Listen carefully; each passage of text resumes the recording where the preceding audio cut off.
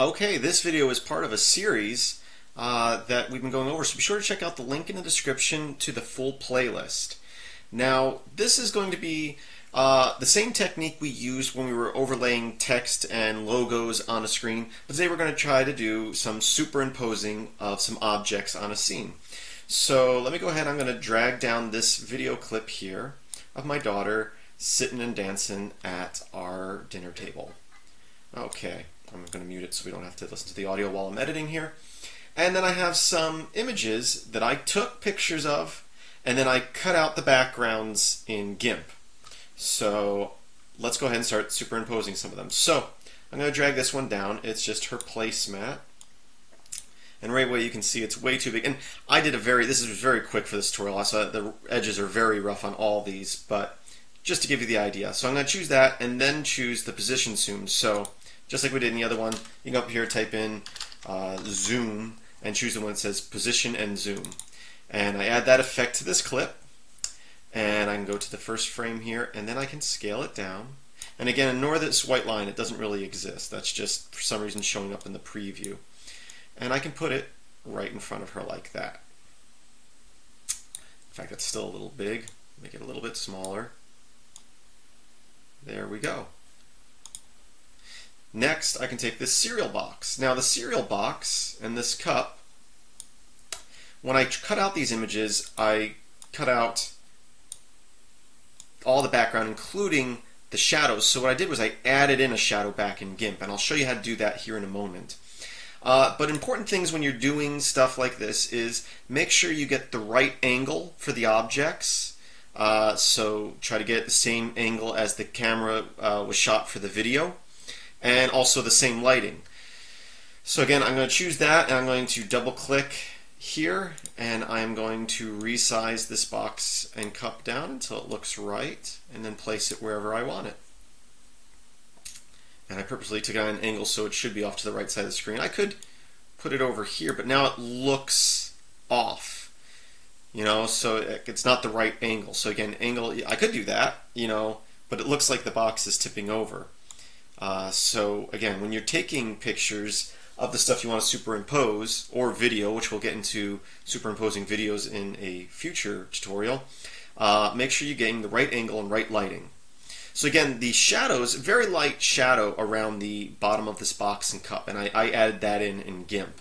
And I'll show you right here, now that I have that box there, I need to now put this bucket of toys here. So I'm going to right click here and I'm going to say Insert Track, above 3 and it will be a video track. We'll call it video 4.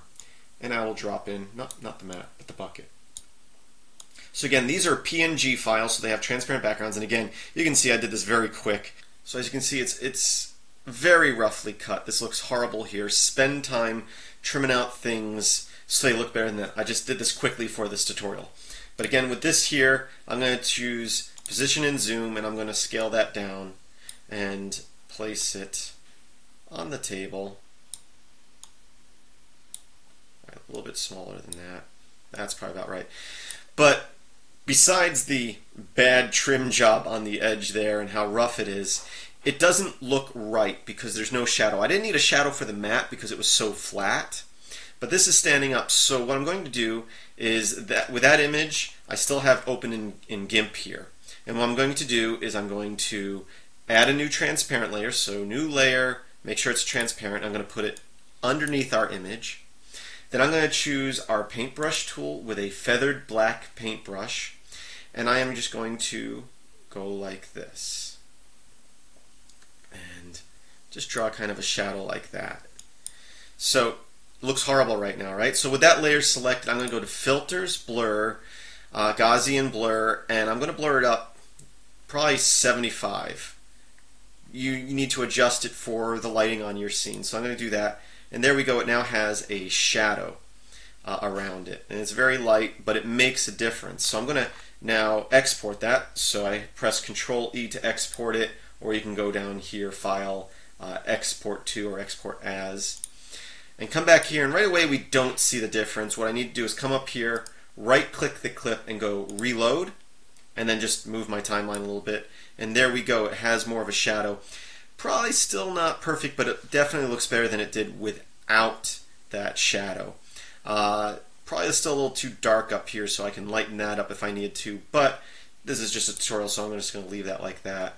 It's still, again, if I trimmed it out better, probably the, the bucket's probably the worst out of all of these. The uh, cup and cereal box I think look pretty good. The mat looks pretty good.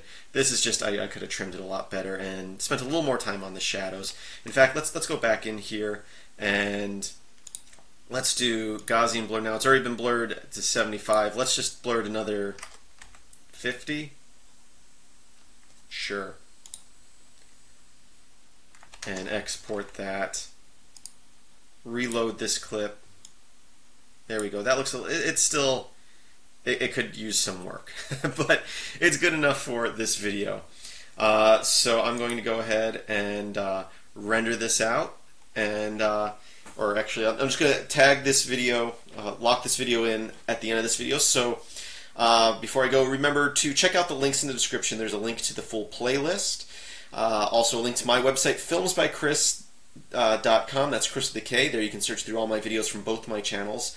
Also, check out my Patreon page if you want to become a supporter over at patreon.com forward slash metalx1000.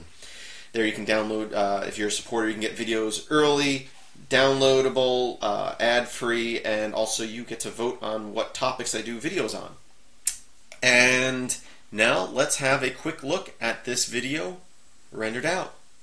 Thanks for watching and have a great day. Hi, Say goodbye, everybody. Goodbye, everybody.